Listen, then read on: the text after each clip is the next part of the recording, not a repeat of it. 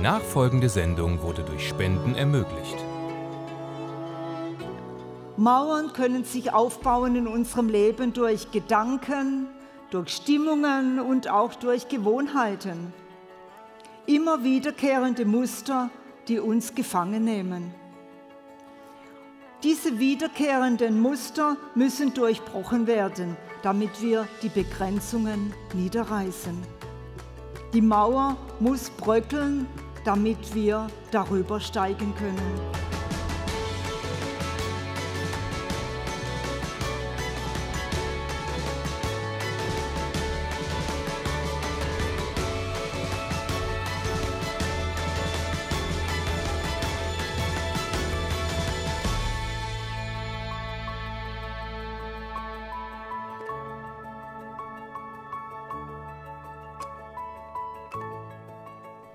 Reiß deine Mauern nieder, das ist heute mein Thema.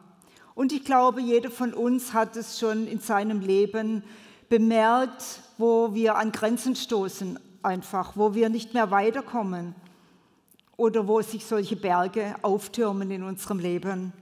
Begrenzungen, und das sind Mauern in unserem Leben.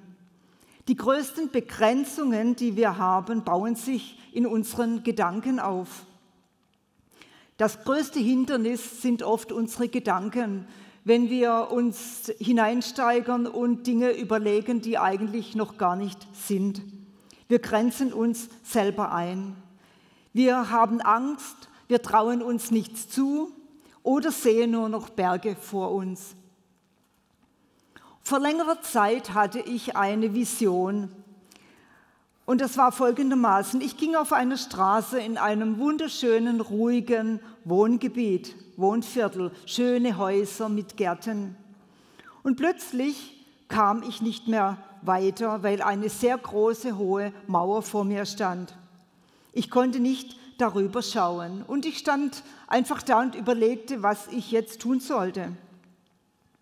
Und plötzlich sah ich diese ganze Situation von oben und ich sah, dass hinter der Mauer alles weiterging, was vor der Mauer auch war. Die wunderschönen Gärten, die schönen Häuser, die gleiche schöne Straße.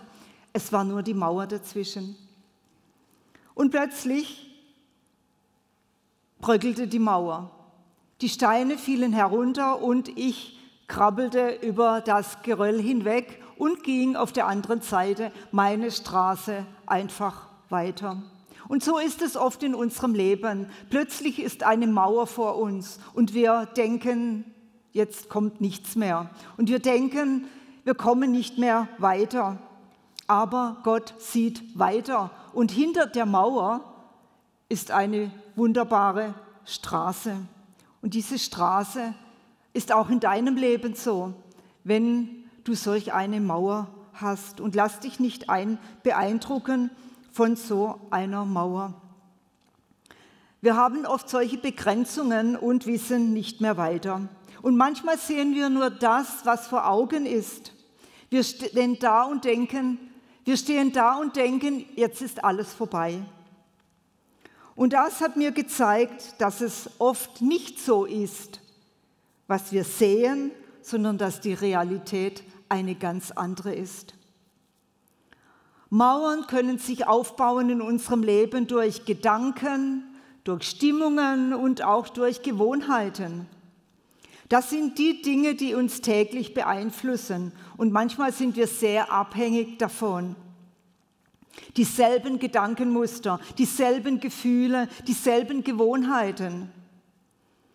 Immer wiederkehrende Muster, die uns gefangen nehmen.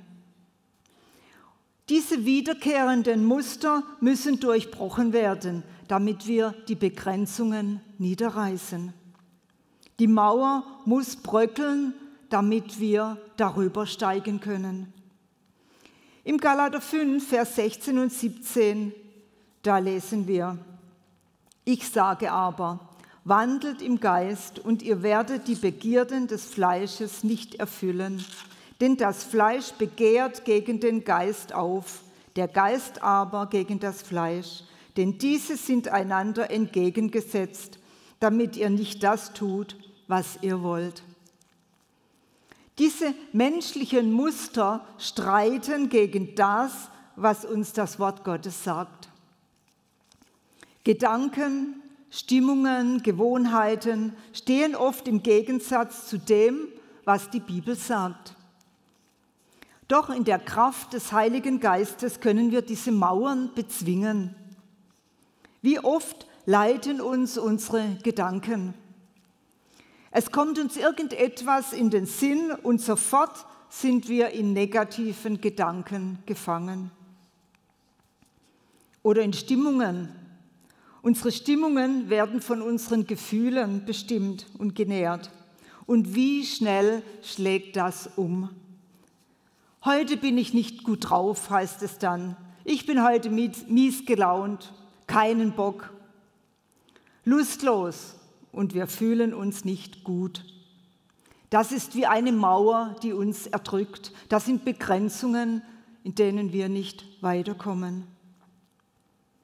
Auch Gewohnheiten können starke Mauern sein. Sie können unser Leben beeinflussen, beim einen mehr, beim anderen weniger. Gewohnheiten können sogar Festungen werden in unserem Leben. Man tut es immer und immer wieder, auch wenn es uns schadet.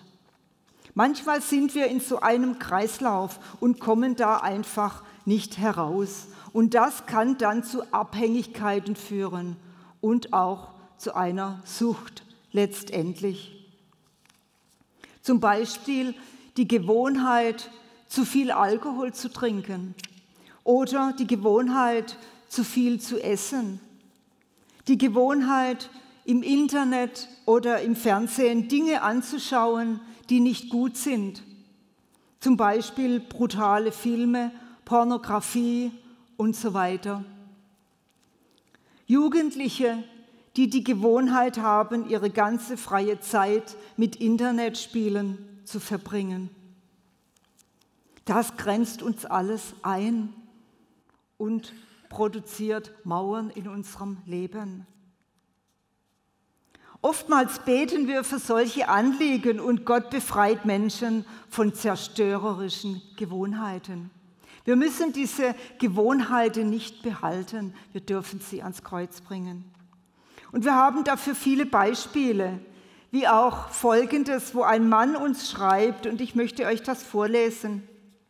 Ich hatte an das Missionswerk geschrieben und um Gebet für meine Pornosucht gebeten. Gott schenkte mir eine christliche Selbsthilfegruppe und ich konnte mehrere Sperren in Smartphone und Laptop einbauen. Ich habe kein Verlangen mehr danach. Danke, Jesus. Die Mauer des Verlangens wurde eingerissen. Und was für eine wunderbare Befreiung.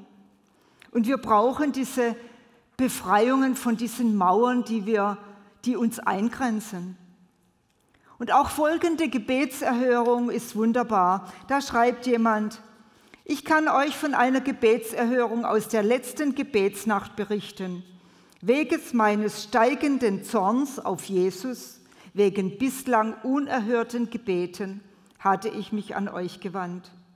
Meine schwankenden Gefühle von Frust und Wut haben sich in Zuversicht verwandelt, obwohl noch keine Besserung der Erkrankung eingetreten ist. Ich habe so lange gewartet mit dem Zeugnis, da ich sicher sein wollte, dass die Erhörung bezüglich der Befreiung von unsagbarem Zorn von Dauer ist. Was für eine großartige Wandlung. Und Wut und Zorn, das sind mächtige Bollwerke, in unserem Leben, die uns wirklich gefangen halten. Solche Gefühle halten uns gefangen. Und ein weiteres Zeugnis von einer Frau, sie schreibt folgendes, ich war Alkoholikerin und sehr dankbar für die Menschen im Missionswerk. Durch ihr Gebet bin ich heute trocken. Was für eine wunderbare Freiheit, wenn Menschen von diesen Bindungen loskommen. Und das sind, sind diese bröckelnden Mauern in unserem Leben, wo wir dann einfach darüber steigen können und wo der Weg weiterführt, wo Jesus uns diesen Weg wieder ganz neu auch bereitet. Wie wunderbar. Schlechte Gewohnheiten können unser Leben zerstören. Und die Bibel warnt uns vor schlechten Gewohnheiten. Jeremia 10, Vers 1 und 2. Hört das Wort, das der Herr zu euch redet, Haus Israel. So spricht der Herr. Gewöhnt euch nicht an den Weg der Nationen und erschreckt nicht vor den Zeichen des Himmels, auch wenn die Nationen vor ihnen erschrecken. Also wir sollen nicht tun, was die Nationen tun. Und das heißt, was Menschen tun, die nicht an Jesus glauben. Wir sollen uns an schlechte Dinge nicht gewöhnen. Das heißt, sie nicht immer wieder tun. Schlechte Gewohnheiten müssen wir brechen, das heißt aufhören, mit Hilfe des Heiligen Geistes und Gebet. Und wir dürfen das ans Kreuz bringen. Wenn wir sie unter die Kontrolle des Heiligen Geistes stellen, wird er uns dabei helfen und wir schaffen das. Und wir haben viele Zeugnisse, wo Menschen das wirklich geschafft haben, als sie alles ans Kreuz gebracht haben mit der Hilfe Gottes. Und du, auch du schaffst das, mit schlechten Gewohnheiten aufzuhören. Bring sie ans Kreuz. Mit Hilfe des Heiligen Geistes, der dir die Kraft dazu gibt. Es ist eine Sache der Entscheidung. Will ich überhaupt aufhören und mit schlechten Gewohnheiten zu brechen. Es ist eine Entscheidung von jedem Einzelnen und in jeder einzelnen Situation. Manchmal ist uns das so lieb geworden und manchmal denken wir, wir haben nicht die Kraft dazu. Aber du hast die Kraft mit Hilfe des Heiligen Geistes. Und jeder muss das für sich selber entscheiden ob er mit schlechten Gewohnheiten brechen möchte. Gute Gewohnheiten in unserem Leben müssen wir aufbauen und trainieren. Auch gute Gewohnheiten fallen nicht vom Himmel. Auch das wissen wir. Sie sind genauso antrainiert wie die schlechten Gewohnheiten. Nur fällt es uns manchmal schwer, gute Gewohnheiten zu trainieren, weil unsere Bequemlichkeit dagegen steht. Oft brauchen wir einfach ja, Mut und Kraft dazu, um gute Gewohnheiten zu trainieren. Und wir sind manchmal einfach auch müde. Da kommen dann unsere Gefühle und Stimmungen ins Spiel. Ich habe keine Lust, ich bin so müde. Und das kennen wir doch alle. Wenn wir irgendetwas eigentlich tun sollten und dann sagen, ach, ich habe keine Lust oder ich bin so müde. Und das kann schon einmal sein, aber es darf nicht immer so sein. Unserer Bequemlichkeit fallen tausend Gründe ein, warum wir dies und oder jenes nicht tun können. Aber Gewohnheiten verändern uns. Gib nicht auf, an guten Gewohnheiten zu arbeiten. Wir können an unseren guten Gewohnheiten arbeiten, um sie aufzubauen. Und wir können an unseren schlechten Gewohnheiten arbeiten, die dann zu Mauern wachsen und uns begrenzen. Wir haben das auch in unseren Zeugnissen gehört, wenn schlechte Gewohnheiten zu Sucht führen oder zu Dingen, die wirklich ein Bollwerk in unserem Leben verursachen. Und im folgenden Bibelvers sehen wir, dass Gewohnheiten uns verändern. Im Hebräer 5, Vers 13, da lesen wir, denn jeder, der noch Milch genießt, ist richtiger Rede unkundig denn er ist ein Unmündiger. Die feste Speise aber ist für Erwachsene, die infolge der Gewöhnung geübte Sinne haben zur Unterscheidung des Guten wie auch des Bösen. Und hier sehen wir, dass Gewöhnung für geübte Sinne, dass das sehr wichtig ist, auch in unserem Leben. Und durch Gewöhnung bekommen wir auch diese geübten Sinne. Es ist dringend notwendig für unser geistliches Leben, dass wir diese geübten Sinne haben. Und wir lesen hier auch, warum das so notwendig ist, dass wir Gutes und Böses unterscheiden können. Wie wichtig ist das gerade doch in unserer Zeit, zu unterscheiden, was richtig und was falsch ist. Wie viele Dinge werden uns heute aufgetischt, wo wir gar nicht wissen, ist das jetzt richtig oder ist das falsch? Wie viele Dinge führen uns in irgendwelchen, auf irgendwelchen krummen Wege oder auf irgendwelche Abwege, wo wir gar nicht wissen, ist das jetzt richtig den, den Weg, den wir gehen, oder ist das nicht richtig? Geistlich erwachsen werden durch Gewöhnung unserer Sinne im Wort. Und das ist heute sehr wichtig, dass wir das tun. Auch Jesus hatte Gewohnheiten. Jesus hatte die Gewohnheit, am Sabbat immer das Gleiche zu tun. Er lehrte am Sabbat in der Synagoge. Lukas 4, Vers 16. Und er kam nach Nazareth, wo er erzogen worden war. Und er ging nach seiner Gewohnheit am Sabbattag in die Synagoge und stand auf, um vorzulesen.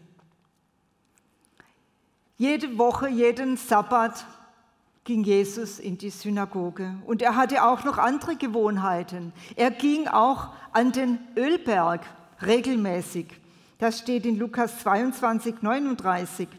Und er ging hinaus und begab sich der Gewohnheit nach zum Ölberg.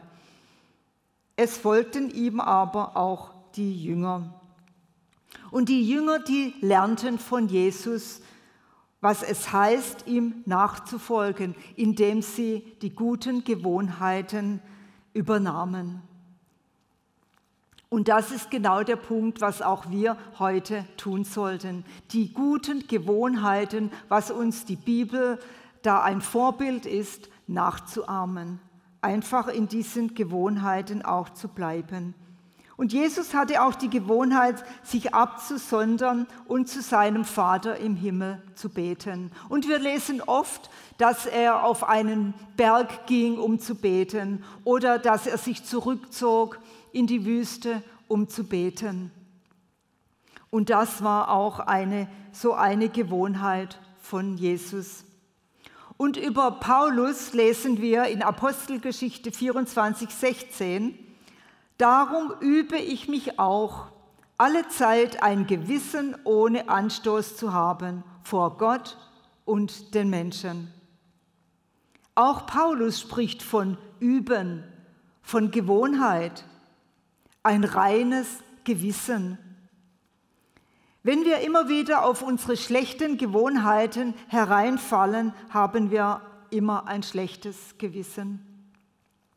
Ich glaube, das ist das Schlimmste, immer mit diesen Schuldgefühlen herumzulaufen. Wenn wir genau wissen, wir haben etwas nicht getan, was wir hätten tun sollen dann plagt uns doch das schlechte Gewissen. Ich glaube, jeder von uns hat das schon erlebt und wir fühlen uns schlecht.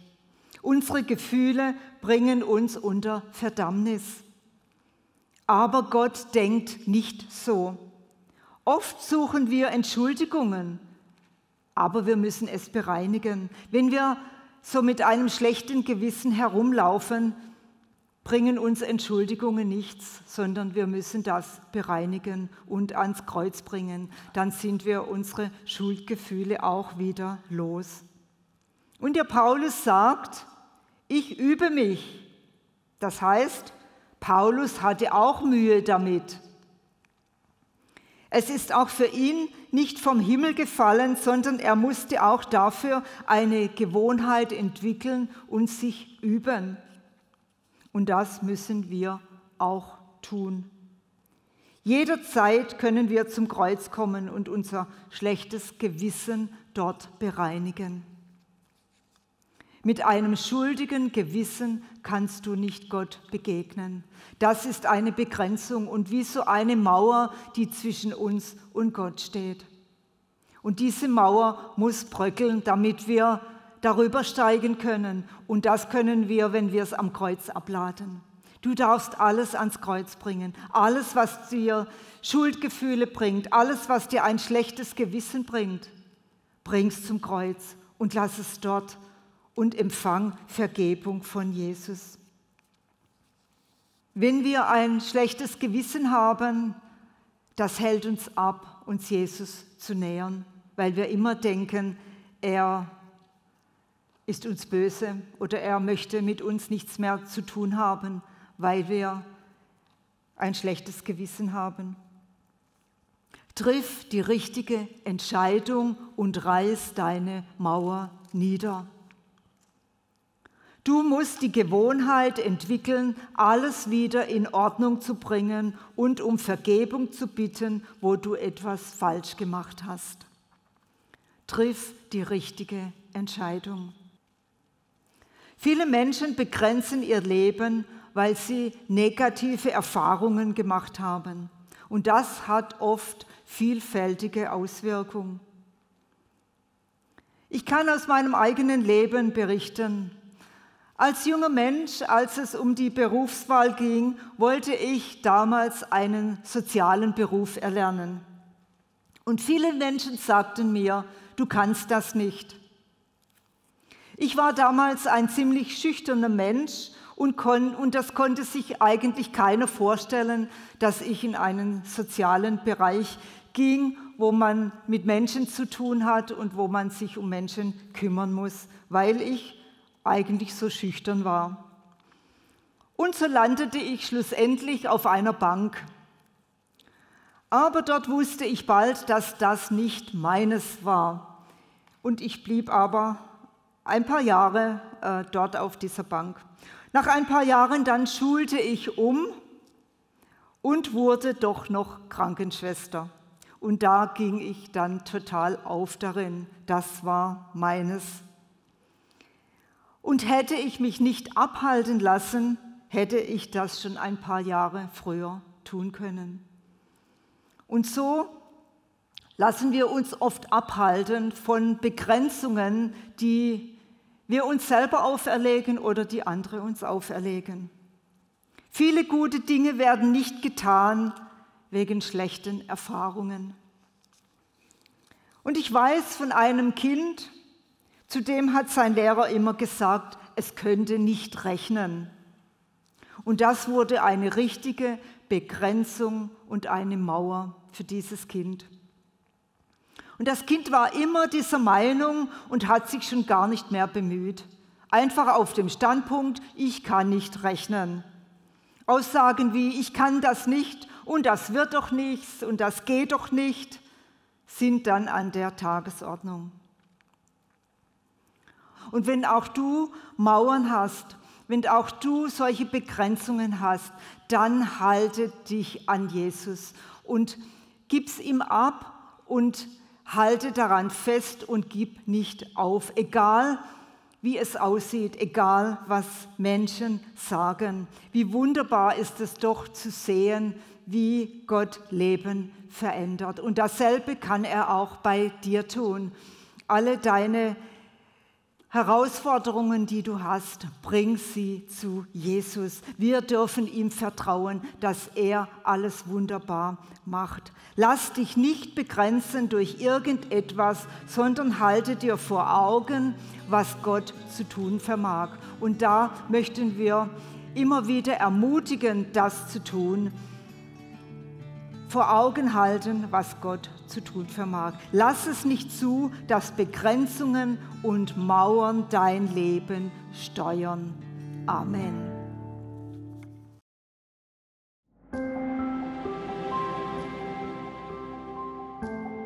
Möge der Gott Abrahams, Isaaks und Jakobs diesen Kindergarten segnen mit all den vielen lieben Kindern. Amen.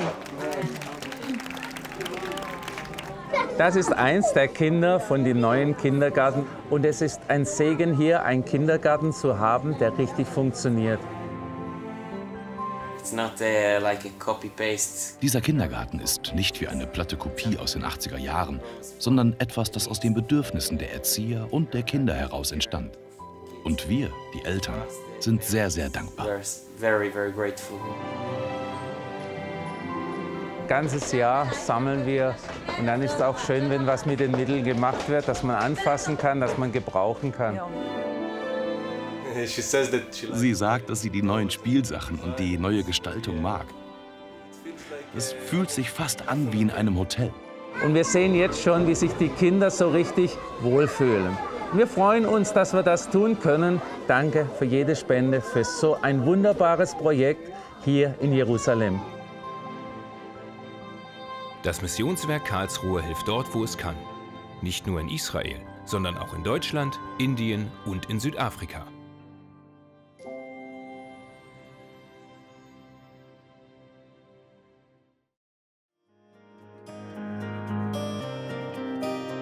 Hol dir unser Magazin nach Hause. Natürlich kostenlos. Das und noch vieles mehr findest du auf missionswerk.de. Wir freuen uns auf dich.